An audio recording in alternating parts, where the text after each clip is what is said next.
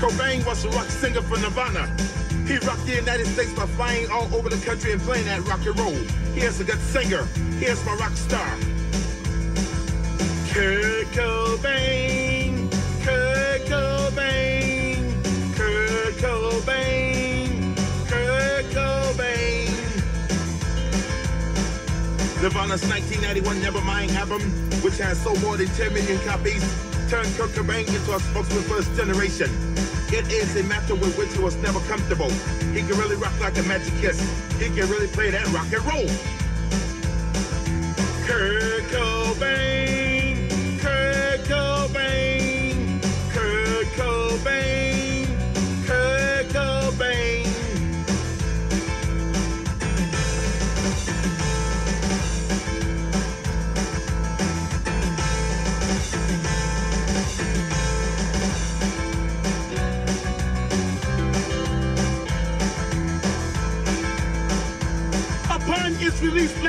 September, In Utero shot to number one on the pop chart.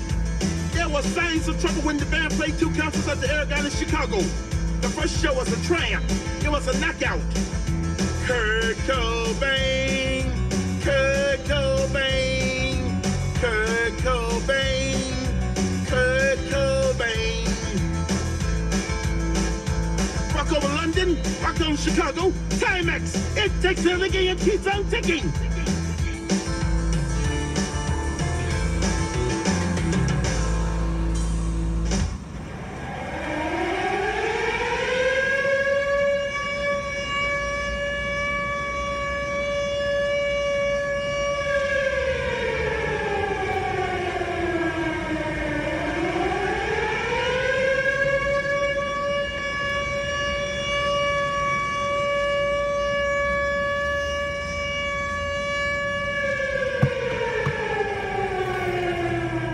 Ireland has to get something straight with the rest of the world, or maybe just Hollywood. You see, we don't all sound like leprechauns on acid. Thank you, Tom Cruise, Gerard Butler, and Jesus have mercy on her soul, Julia Roberts. There's actually a big difference if you're either from the north, south, east, or west of Ireland. Let's break it down and set this record straight. Are you listening, Roberts? Dublin is the capital, and the accent here was heavily influenced by the British occupation of Ireland for more than 800 years. What's odd is that for such a relatively small city, we have two very distinct accents, generally assigned to north and south side. On the north side, you'll hear people talking like this. Here, the D replaces TH, so you get a lot of this, that, these, and those. And if there's a T at the end of a word, bleeding forget it. Venture south and they'll speak absolutely like this. The South Dublin resident is all about the O's and O's. Elongate those vowels like, yeah, yeah, like totally the opposite of the narrow sounds of the North Sider. Moving into the south, we come to the People's Republic of Cork, boy. For some weird reason, everyone here speaks a few octaves higher than the rest of the country, boy. It's a little bit forlorn and a little bit melodic, and every now and again, boy is thrown in for the crack. Fair play to you, boy. Now move down a bit and you're into West Cork, where it all gets a bit thicker and a bit faster, so. Then there's Kerry, and that is probably the jewel in the Irish accent crown. Not sure this, unless they're from the kingdom itself. Sure, it's fast and it's furious. SH features even when it's not there, you know, like. Sure, doesn't it sound better for it, like, you know? Limerick is more nasal and sharper on the ear, so you can tell you've left the kingdom far behind. You might get called a goal if you're acting the maggot or if you're langers. Now we're going way up north. I tell you, it's very different, especially in Belfast. Sure, the Scottish plantation of Ulster was so successful that it changed the way they speak forever. Now is pronounced now. Aye means yes, and a wee cracker is a beautiful girl, so it is. So this is how we sound, do you know what I mean, bud? And it's a totes generalisation, like. But sure, it is what it is, boy. And it's only a broad guide from an Irish gal, like. But sure, we're only having the crack. The problem that you're having is you're living in the future and you living in the present. And you keep talking about the mistakes. You keep talking about the past. You keep talking about your trials. You keep talking about your situation. And I want you to know that everybody that's ever been great, everybody has had an obstacle to overcome. They've had a barrier that they had to climb. There is no individual who's ever reached success and he didn't have to go through an obstacle or a barrier to get there. Hey, Pascal, it's Dave. Uh, radio, what's going on? What you done with the intro is uh, revolutionized radio. pretty much brought a new level of entertainment to radio. This is Pat Kelly. Hey, pal, what's going on, man? Hi, Pat. Pat? Hey, Pat. I just want to tell you that I love you. If you're a man, you don't cry about it. You take life, the ups and downs. If you're a real man, you never go down, you just stay up. I'm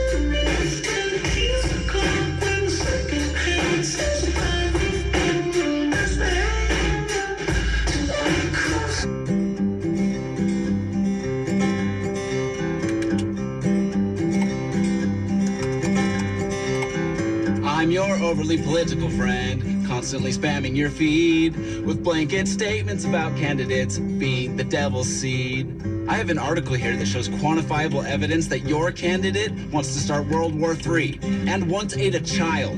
Think about it. I'm your awkward friend who shares too much for all of Facebook to see. I've got a really big wart on my back. Whenever I lay down, it bleeds. Here's some pics from four different angles. You're welcome. I'm a teenage girl and you can't remember how we ended up being friends. All my posts are incoherent, none of them make any sense. LMBO, cookies, yum yum. Just cruising smells, lamppost. We never stop posting, can't you see? Facebook is our home and we never leave. Frogs, LOL. Cause we're the three most annoying people on your newsfeed. I threw up for nine hours today. Here are some pics from four different angles.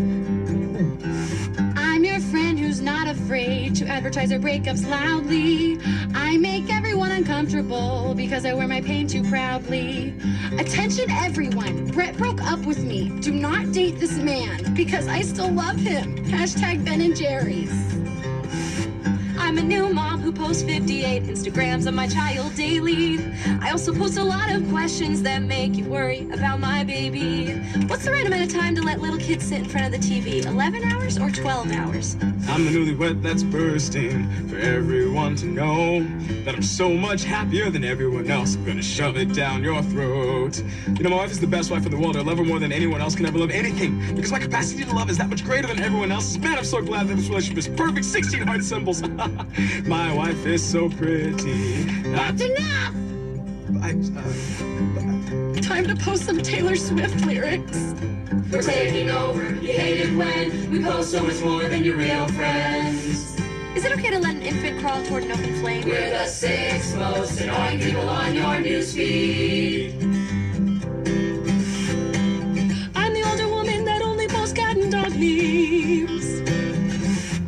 Absolutely everything anyone posts. I post very vague statuses that require follow-up questions.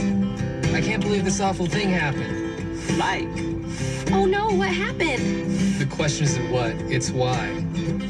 What? This'll cheer you up. Cats! like. I'm way behind the times and I'm still posting Harlem Shake videos. Guys, have you seen this? We're the 10 most annoying people on your newsfeed. My brother left his Facebook open, so I'm gonna post something hilarious. I picked my nose. The 11 most annoying people on your newsfeed. I really do pick my nose. Here's some pics from four different angles. Garbage fun. All the most annoying people on your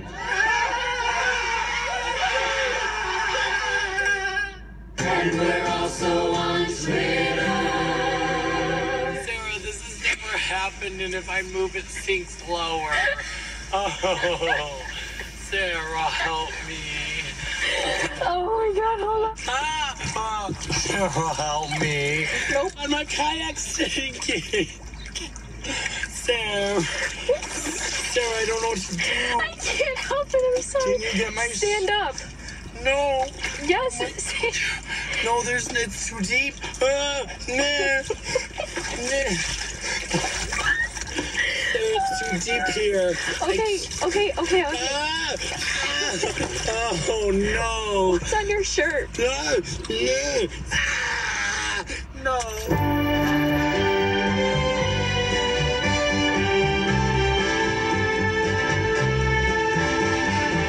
This This is a nation of tired people. Everyone is tired. Everybody is suffering from that chronic disease that I like to call Pat Kelly. You can't be for something and then when you run for president suggest somehow that you didn't really mean what you said back then. We can send 30,000 more troops. Uh, I don't know any expert that believes that that is going to make a substantial difference.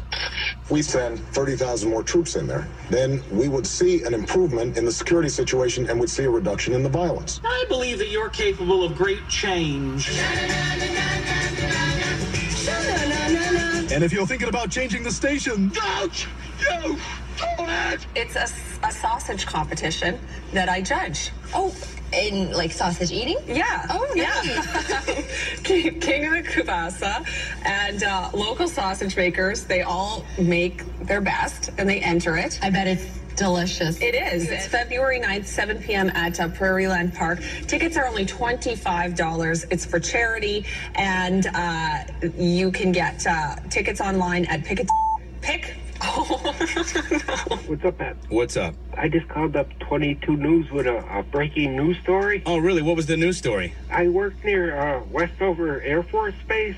22 News would consider that breaking news. Yeah, well, on my breaks, I park my car near the airfield. Tonight on 22 News. I listen to music and uh, watch the planes fly in and out. When we come back on 22 News, About uh, 10 or 2, I saw the president's plane taking off. the I Team investigates tonight at 11 on 22 News. Pat, the president must have known I was on break. I couldn't notice if he was uh, waving at me uh, out the window or not. I'm sure he was taking the time to acknowledge you.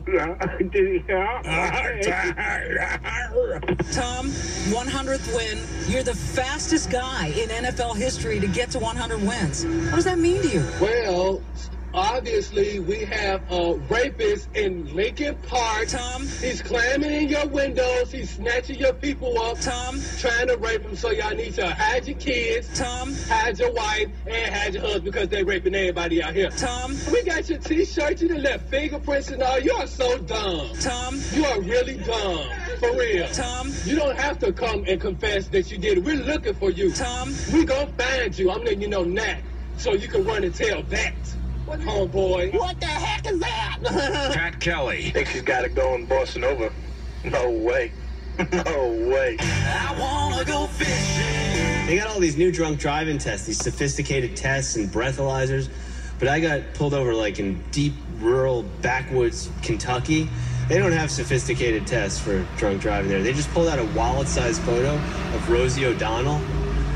So like, is she attractive? Everything is not an anecdote. You have to discriminate. That's discriminatory. Hey, hey, hey!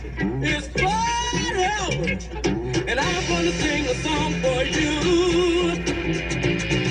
And Bill's gonna show you a thing or two. You'll have some fun now with me and all the gang, learning from each other while we do our thing.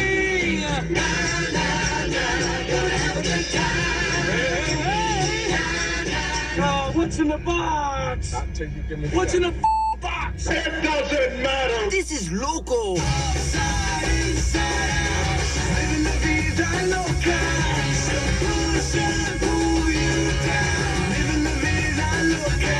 I'm not crazy. My mother had me tested. Get yourselves better educated. How will I win? Condition or reason? These questions are answered when you use an adverb. Come hi, Pat Kelly. Oh, super. What the hell is your sexy ass wearing today? Today I'm wearing a button down shirt, jeans, sneakers, socks, and no underpants. I'm touching my ovaries right now. You're what? My ovaries. Oh, no. Hey, do you know not wearing any underwear is not safe for you, man? Really? Yeah, you can catch like a saggy. Oh, what? You're gonna get a saggy. All right, that's fine. Like women, when they don't wear bras, they get saggy. Yeah, but a bra doesn't cause that to happen. Sometimes they are that way, and that's why you put them in a bra. You're heading in that direction. Are you saying I need to wear a bra? You're in great danger. What do you suggest I do? Do you want me to come over and cheer you up? Mm, no. Okay. Well, the police wouldn't let me go to through 100, 122nd, so I had to go around 119th and go um, and I was. They let me look at the the lawyer's building. I know the vacuum cleaner man. He's seen my. T- um, I know that's not going on TV, but it's true. It's true. I'm not here to lie to you.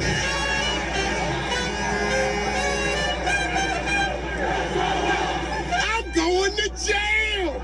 Meanwhile, back on the beach. I'm in love with seahorses. Ah, good times. That piece of applesauce, baby. My jazz bag. My jazz bag.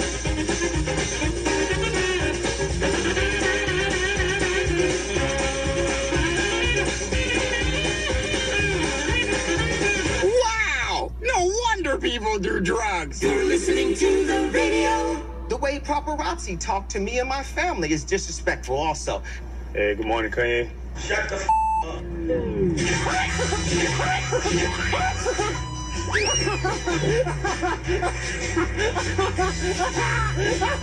Um, keep taking your calls. Let's see. Try line number one. Josh's movie review. Who's this? Is this a new show? This is a new show. Yeah, today's the first episode. How am I doing? Brand new? Yeah, brand new, dude. You're watching Oh, the I first gotta one. do this, brother. It's your first episode. No. What do I have to do to make it into your intro?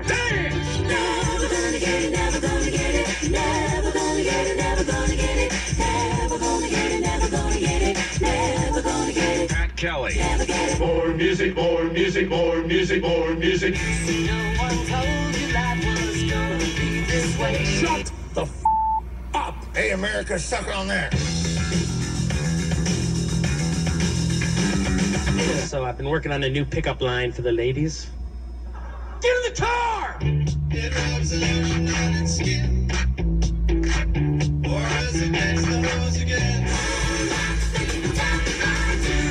Money isn't everything. It's not going to make you happy. You know what's going to make you happy? Fame.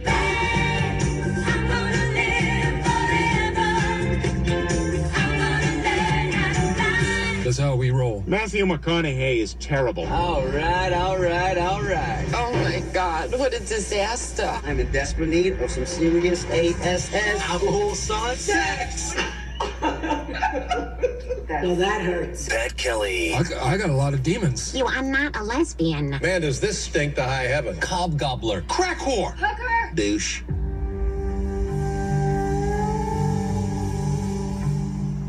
The gym. Millions of Homo sapiens across the globe frequent this urban wilderness. Today, we will take a look into these strange places and show you the gym like you've never seen it before.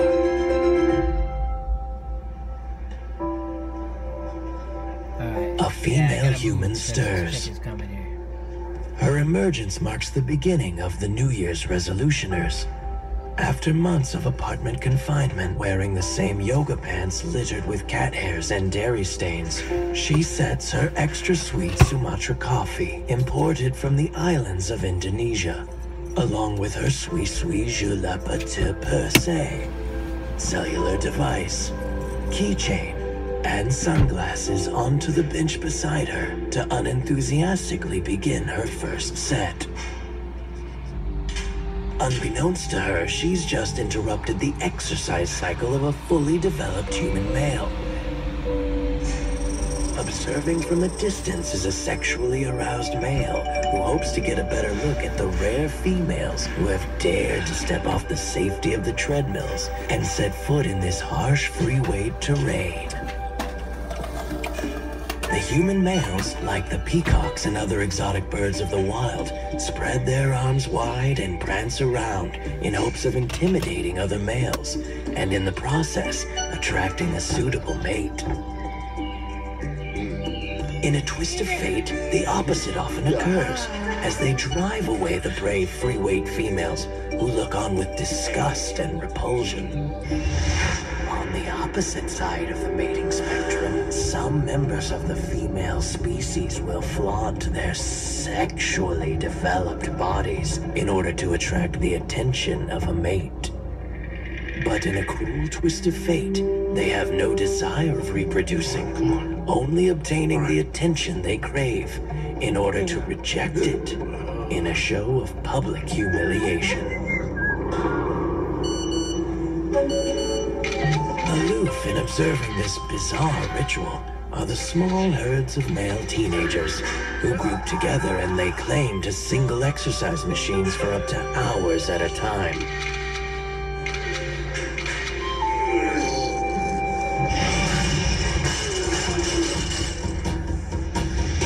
Across the gym wilderness, one lone gym goer stakes his claim and flails his fists in an act of primal dominance. But for who?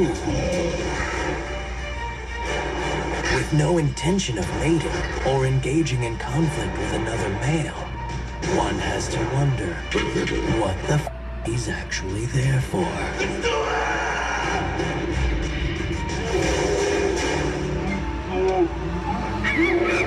We also have the more vocal who yell and grunt in order to seek attention from all surrounding Homo sapiens. This is for America! Sadly, the loud noises are their best show of dominance, as their actual performance is severely lacking. I can't! Yes, you can! Yes, you can! Come on, come on, come on! No, no, don't leave me here!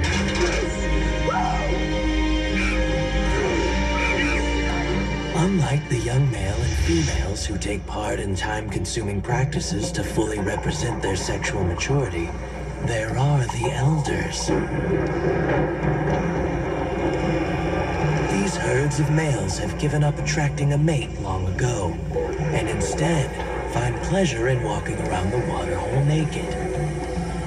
Although the younger male peers may find it disturbing, the elders take pride in their lack of discretion while cleansing themselves and engaging in primitive conversations.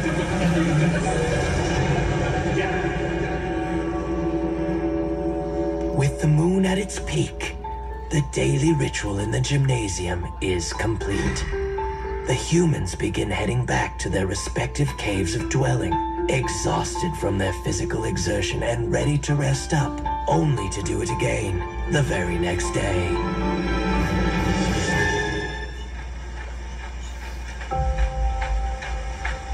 Unlike other species, such as the felines who clean up after themselves, these humans have left the gymnasium a wasteland of unracked weights, dripping sweat stains, unnecessarily soiled towels. Why would you put gum there? And pants. Thankfully, the human cleaners, much like the pilot fish to the shark species, are there night after night, dutifully doing their job to keep the gym clean with a positive and upbeat attitude. My life. What is it? What is it? Tell me what it is. Two words. Phenomenal. I swear it's Springfield's only choice. Throw up your hands and raise your voice. Pessy, spicy, like a hot lady. Pessy, spicy, like a triple grand dude. The people say me crazy, cause they don't even know me. I live in a little town near my hellhead little restaurant. It's called Sucker Noodle. I usually go there by a Pepsi, and I only drink a little bit Pepsi. I can feel it. Doesn't matter where I go, it's still like the same. So I will say it over, over, over again. Cause Pepsi, spicy like a hot lady. Pepsi, spicy like a triple grand dude, do, do, do. It's so spicy, Pepsi so spicy. It is so spicy. Cause Pepsi, spicy like a hot lady. Pepsi, spicy. Shut the f- The two things that we all know about men are that they are horny and stupid.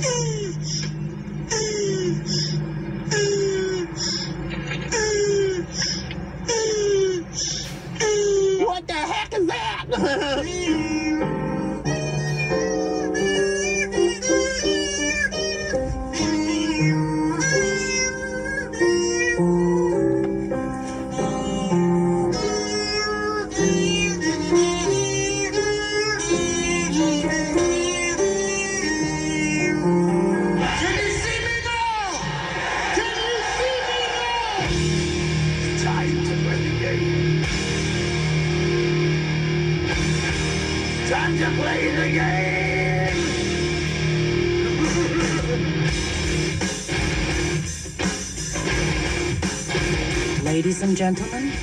In